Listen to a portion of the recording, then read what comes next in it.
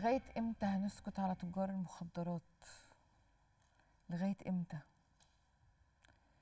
أرجو من رئيس الجمهورية مشاكل كتير قوي عندك هتتحل. لو بس عملت قرار جمهوري بتقول فيه إن من يتاجر في المخدرات يعدم في ميدان عام. ياه! يا دي دي دي, دي تتكتب في التاريخ. و, و لأن هيحصل بعديها تغير في البلد غير طبيعي. غير طبيعي في على كل المجالات على مجال الشغل على مجال ال- ال- الجواز محدش هيطلق مراته لأن مش هيبقى فيه الضرب ومش هيبقى فيه الإهانة ومش هيبقى فيه ال- الحاجات الغريبة. يعني كل المشاكل اللي يا ريس بتتكلم فيها هتلاقيها اتحلت بعد هذا القرار الجمهوري. من الحاجات برضو اللي بتضايق قوي عندنا إن إن إن منظومة الفساد لسه موجودة في إيه؟ إن حتى لو إحنا بلد بقت حرة أو حتى لو إحنا بلد بقت ماشية صح أو الرقابة الإدارية بقت بت بتمسك الناس المرتشيين أو أو أو وإن كل حد بقى عليه رقابة ما بقاش فيه زي زمان اللي هو سبهللة كده لسه لغاية دلوقتي في ناس ماشية في منظومة الفساد دي عشان خايفة جدا على كراسيها. يعني إيه؟ يعني مش الوزير أو الدولة أو الرئيس هو اللي ماشي الحكاية كده لأ. الموظفين اللي بيشتغلوا من زمان اللي واخدين على منظومة الفساد وعدم الحرية وعدم الكلام لسه ماشيين على خطاهم هو هو. تعالوا نشوف مع بعض كنت فاكرة إن العصر بتاع إن الواحد لو فتح بقه يتوقف أو يتسجن أو نلفق له حاجة أو نرفده. استقت جدا ما سمعت حكاية الممرضة اللي طلعت اتكلمت عن الأدوية حسب ما ما قريت يعني على السوشيال ميديا واتفصلت تاني يوم. هل علاقة فصلها ده باللي قالته ولا هي فعلا اللي قالته ده هو اللي فصلها؟ هل إحنا ما زلنا في هذا العصر؟ في مسؤول يقدر يرفت حد عشان بيقول الحقيقة أو بيقول واقع. تعالوا نشوف بعض. قولي بقى أنا قريت حاجات كتير قوي على ال social media. قولي إيه الحكاية الحقيقية؟ آه أنا اسمي سيدة السيد محمد فايد. وأنا بشتغل ممرضة في مستشفى عين شمس التخصصي اللي حصل إن أنا ليا عمل في النقابي والسياسي وكده. فدايما بطلع عادي في الميديا. ده شيء طبيعي يعني. آه فوجئت كان في حد اتصل بيا من آه قناة وطلبوا مني إن أنا أطلع معاهم في الميديا عشان خاطر أتكلم عن آه مشاكل الصحة في مصر بصفة عامة ومشاكل التمريض والكلام ده كله. فقلت لهم ماشي.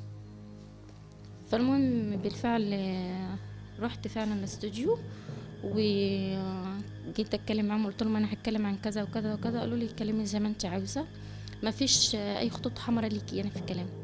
قلت لهم خلاص ماشي. المهم بالفعل طلعت في الميديا واتكلمت عن مشاكل ال- الصحة والتمريض والمستلزمات الأدوية بصفة عامة وال- والأطباء والكلام ده كله. آه، وكان معانا في اللقاء كان أكتر من حد في حد من نقابة الأطباء دكتور خالد وفي نقيب الصيدلة الحكوميين وكان في آه، رئيس الهيئة الطبية لمستشفى معهد ناصر وكان في دكتورة شادية ثابت اللي هي كانت عضو مجلس نواب. آه، بعد اللقاء كان يوم خميس كان ستة وعشرين واحد بعدها يوم الجمعة بالليل رحت الشغل عادي تماما. يوم السبت كان يوم أجازة عندي في الشغل. لو رحت سهر جيت يوم الأحد آه، لقيت الت- آه، التليفونات بتشتغل. كان التليفون بتاعي فصل فشحنته أشوف مين الأرقام الغريبة اللي بتتصل بيا فلقيت رئيسة القسم عندي. فبقول خير في حاجة مس قالت لي أيوه انتي بكرة الصبح يا سيدة تطلعي فوق لمس وما تمشيش. قبل ما تطلعي لها. قلت لها طب ليه يا مس؟ هو حضرتك تعرفي عنها هي عايزاني في إيه مثلا؟ قالت لي آه عارفة. آه عايزاكي بخصوص اللقاء اللي طلعت بيه في قلت لها طب إيه في حاجة؟ قالت لي انت تعرفيهم إزاي ووصلت لهم إزاي؟ قلت لها عادي ما أنا دايما بطلع. ورقمي هو عندهم أصلا من الأول ما عندهم أرقام تليفوناتي لأن أنا طلعت قبل كده مع محمود سعد في التلفزيون. كنت مرشحة لمجلس النواب مرتين. قالت لي طب يعني انت آه وانت كنت كنت معانا ساعة لما طلعتي مع محمود سعد قلت لها آه أنا طلعت في 2014 ف في النهار يعني. آه في النهار. في 2014 مع أستاذ محمود سعد. وكان عندي أمل ساعتها فعلا لما طلعت مع المشاكل تتحل. زي ما طلعت مع أستاذ محمود سعد والمشكلة اللي أنا كنت طلعت فيها واتكلمت فيها كانت اتحلت اللي هي مشكلة التمريض اللي بيشتغل 12 ساعة بجنيه وربع ده في الوحدات الصحية. لغايه 2014 إن واحد يشتغل بجنيه وربع دي كانت مهزلة يعني. فاتحلت لهم بقى ياخدوا 15 جنيه بالنهار وخ- وايه و25 جنيه بالليل. انت طالعة عشان تحلي. آه عشان أتكلم وأقول المشكلة وأعرضها ونحل كلنا مع بعض. يعني كالعادة يعني ما إيه إيه الهدف؟ إن أنا أتكلم واوصل صوتي لوسائل الاعلام هو أنا هطلع أعمل شو وخلاص. أنا عايزة حد يجي يقعد معايا أو هو حتى يعرف المشكلة فيحلها. يعني مش عايز يقعد معايا يقعد مع حد تاني بس يحل المشكلة. تمام. للأسف الشديد آه، فوجئت لقيتها بتقول لي طب هو أنت يا سيدة مش لازم لما تيجي تطلعي في في الميديا آه، وفي التلفزيون تاخدي تصريح من جهة عملك الأول وتقولي للرئيسة بتاعتك وتاخدي إذن منها وهي تقولك على الخطوط العريضة اللي تتكلمي فيها قلت لها لا يا مس مش الكلام ده. وبعدين اللقاء الداخلية بس آه ده هي اللي بتقولي كده. دي وزارة الداخلية بس للظباط لازم ياخدوا إذن. آه فأنا فوجئت إنها بتقولي الكلام ده فطبعا آه، صعقت طبعا عارفة اللي هو حد أنا كنت كده كده رايحة الشغل يعني. كان الكلام ده قبل ما أروح الشغل فلقيتها بتقولي الكلام ده في التليفون. قلت لها لا يا مس ما فيش الكلام ده ما أنا طلعت مجلس نواب وكنت كذا وكذا وكذا. وشرحت لها بقى اللي أنا بعمله كله في العمل النقابي والسياسي فراحت قالت لي ما فيهاش حاجة لما تيجي تتكلمي مع المشرفة بتاعتك وتقولي لها وهي الرئيسة بتاعتك وتاخدي وتدي معاها في الكلام والكلام ده في الحاجات دي. الموضوع ده ما فيهوش حاجة. قلت لها اولا اللقاء كان فجائي آه، ما كانش مترتب ليه. وفعلا الموضوع ما كانش مترتب ليه. فجأة كده آه، في نفس اليوم قالوا لي الصبح بالليل في نفس الميعاد لما طلعتي فوق؟ قالت لك إيه بقى؟ فصلتك يعني؟ آه، طلعت فوق. اتكلمت معايا عادي جدا وبرضه اتناقشت معايا وبرضه قالت لي نفس الكلام. لما تطلعي لازم تاخدي تصريح الموظف لما ياخد يطلع في الميديا لازم ياخد تصريح من جهة عمله عشان يتكلم. فقلت لها مفيش الكلام ده خالص مفيش لا في لائحة ولا في قانون بيقول الكلام ده مفيش قانون ابدا يقول إن أنا عشان أطلع أتكلم عن الشأن العام في مصر وبعدين لما أتكلم عن المستلزمات الطبية ناقصها هي والأدوية في مصر بصفة عامة موجودة ودي حاجة موجودة لكل الناس والحاجات دي آه بتحصل آه بتحصل كل كلمة قلتها بتحصل آه بتحصل. قولي لي بقى إيه مشاكلها وتعالوا نقعد نحل مش إن انت آه يعني تقولي كده آه فراحت قالت لي طب خلاص ماشي. ما قالتليش بقى إن في مثلا فصل ولا في أي حاجة ولا أظهرت لي حتى أي نية من ايات ال- الغدر يعني. المهم مشيت بعد منها. آه في نفس اليوم رحت سهرت عادي كان يوم الاثنين ويوم الثلاث سهرت عادي يومين السهر بتاعي نبطشية عادي. يوم واحد اتنين أنا كنت سهرانة بالليل وماشية يوم الاربعاء الصبح إحنا بنسلم المشرفة قبل ما نمشي. لقيت رئيسه العمليات بتقول لي استني يا سيدة شوية ما تمشيش دلوقتي. فقلت لها في إيه؟ قالت لي استني شوية. لما خرجوا كله من المكتب يا سيده صدر قرار بفصلك آه عشان خاطر موضوع انت في طلعتي في بتطلعي في الميديا وكده. آه مين اللي أصدر ده؟ يا مس قالت لي دكتور. ده مدير الشؤون العلاجية آه، في المستشفى. هو يبقى الدراع لمين لدكتور آه، مدير عام المستشفى. هو اللي أصدر القرار آه، بالفصل. آه، اطلعي دلوقتي بقى للشؤون الايه؟ العاملين. ونشوف هيقولوا لك إيه. طلعت على طول الشؤون العاملين زي ما هو الفصل ده ينفع كده؟ مش لازم سبب؟ مفيش أي حاجة خالص. هو كده على طول. يعني قانون ولايحة بيدي الحق لاي واحد إن هو يرفض أي حد كده من غير سبب؟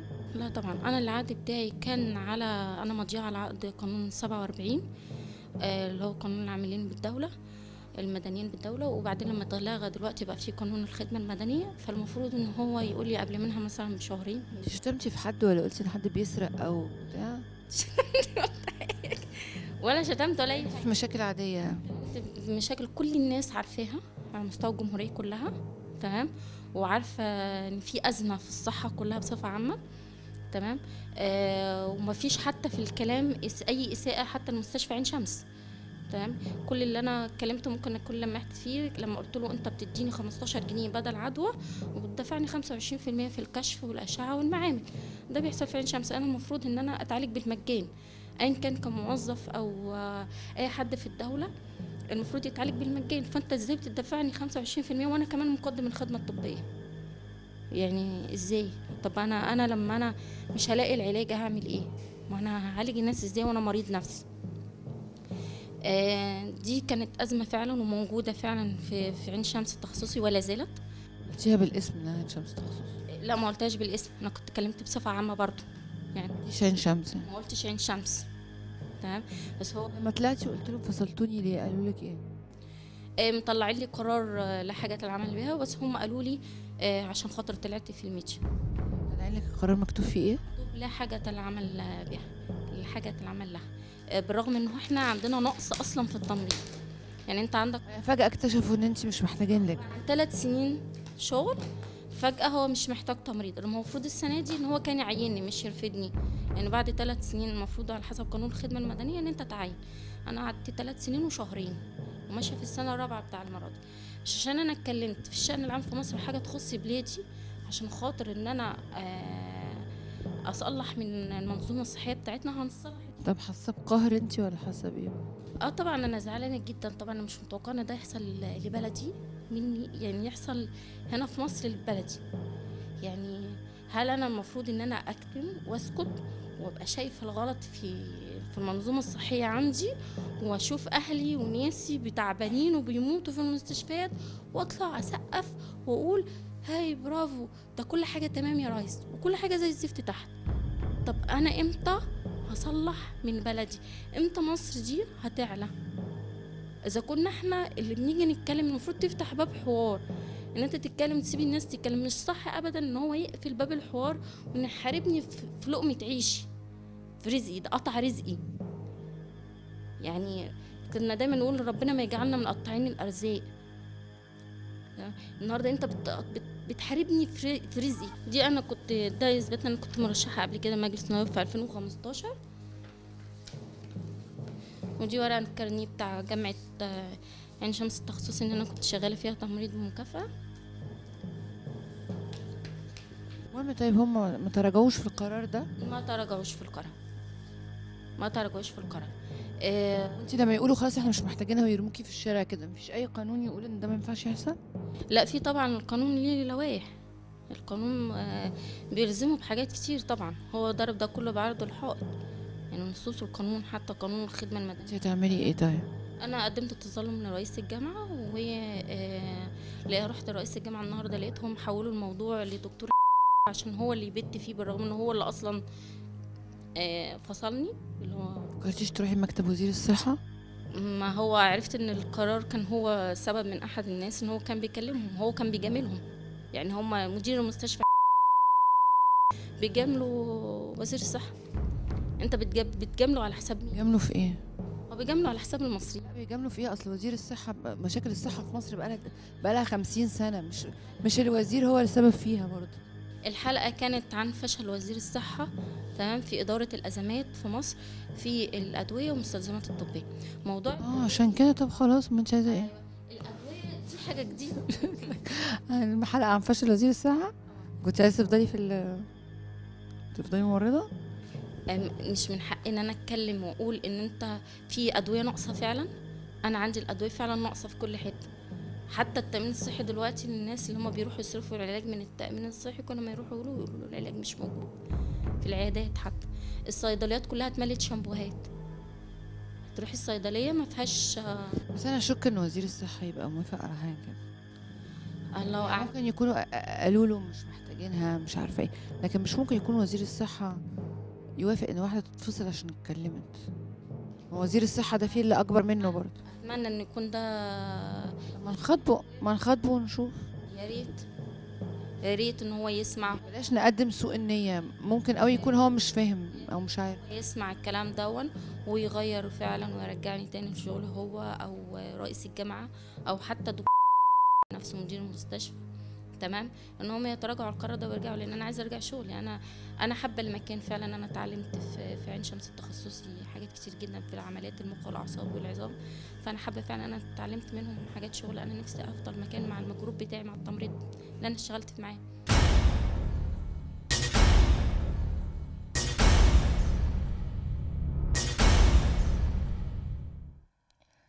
اوعوا تخافوا وافضلوا اتكلموا بالحق.